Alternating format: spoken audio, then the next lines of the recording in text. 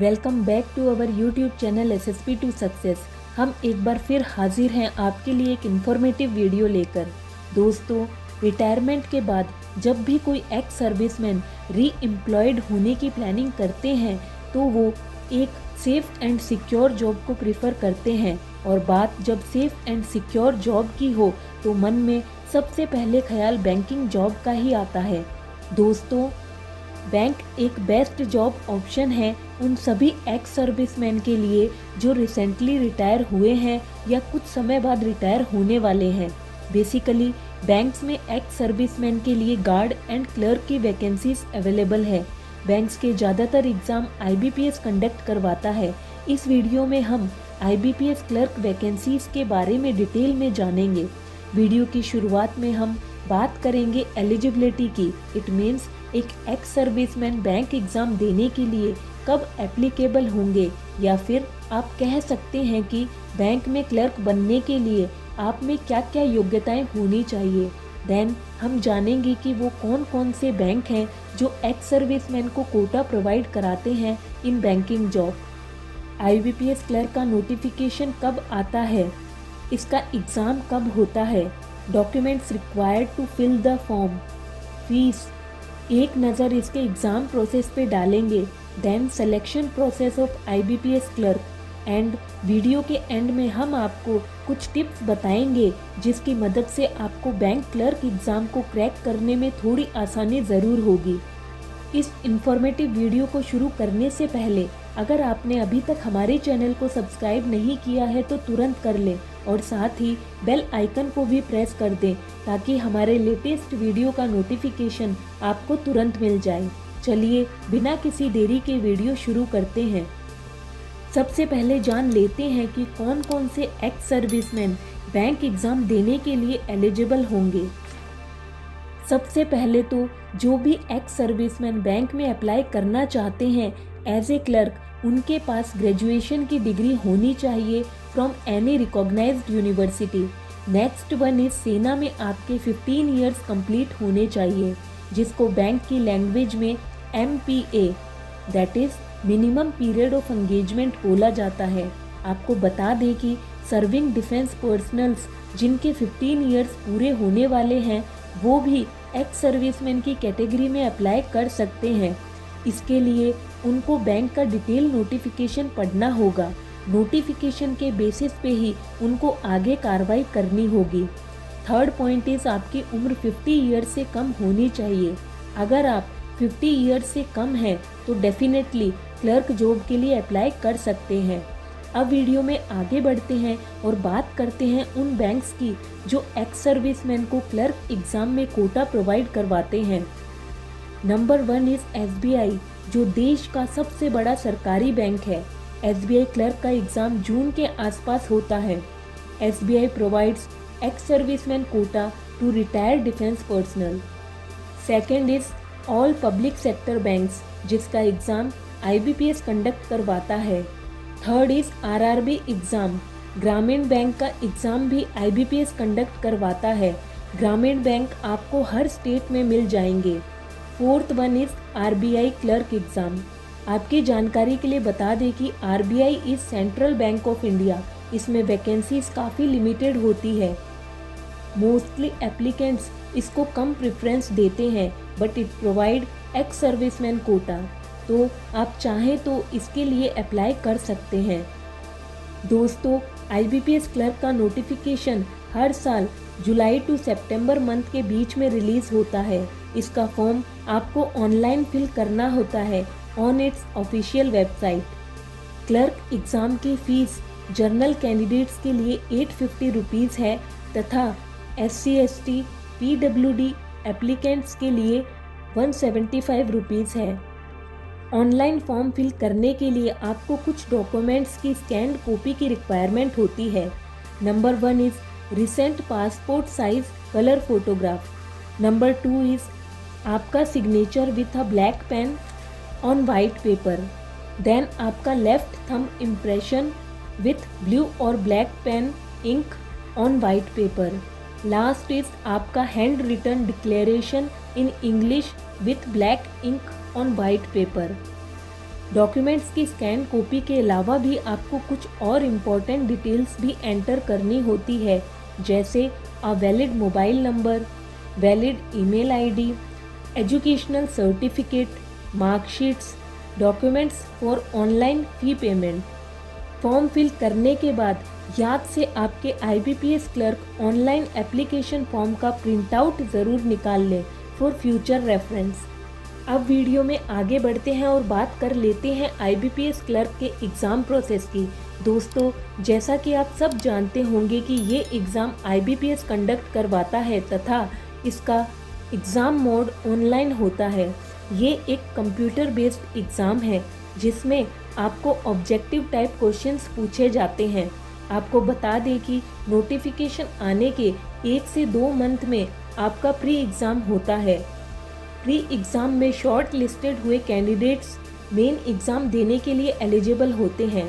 Clerk का mains exam pre exam के result आने के एक से दो मंथ के बीच में हो जाता है। एप्लीकेंट्स को क्लर्क बनने के लिए दोनों एग्ज़ाम क्लियर करने होते हैं।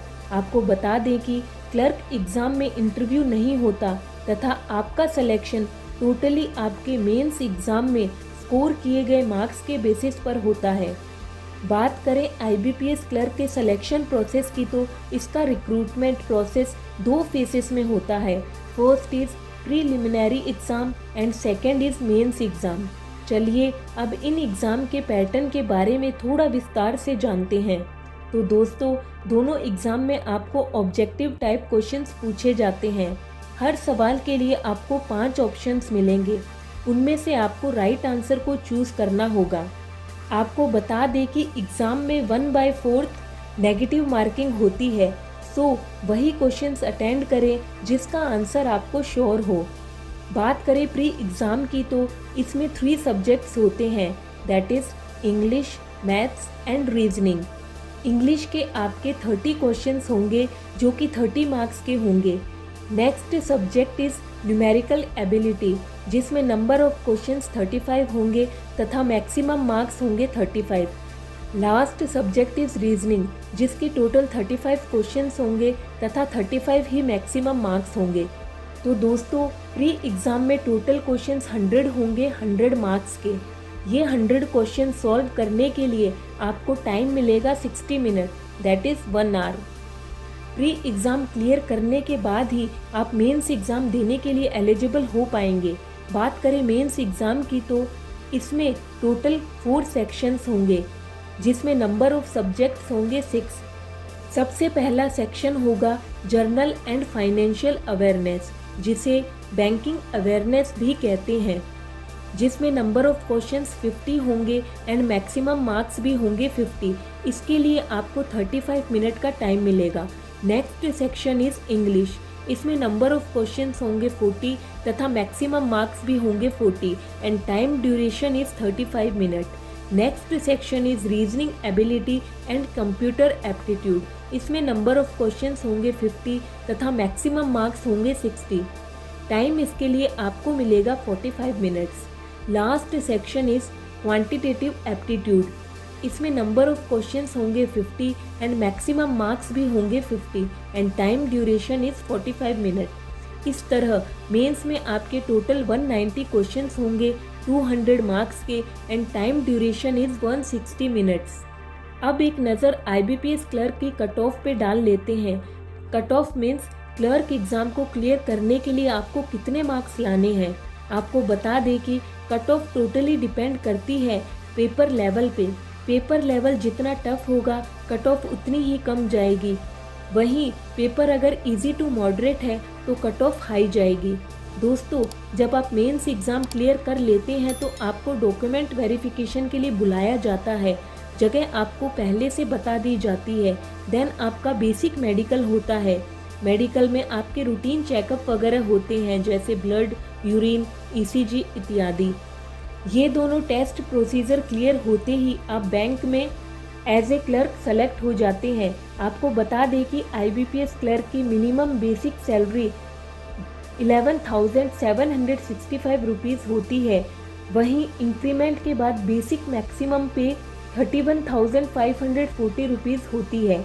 अब वीडियो में आगे बढ़ते हैं और जानते हैं उन शानदार टिप्स के बारे में, जिससे आपको आईबीपीएस क्लर्क एग्ज़ाम क्रैक करने में काफ़ी हेल्प मिलेगी।